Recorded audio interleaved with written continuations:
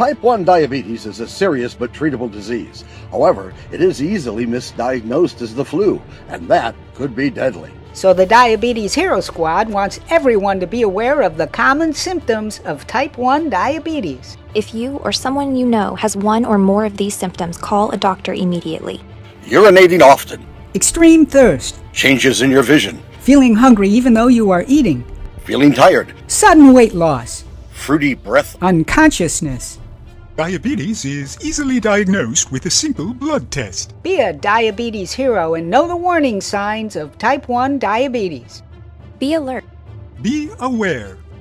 you might just save someone's life. Oh,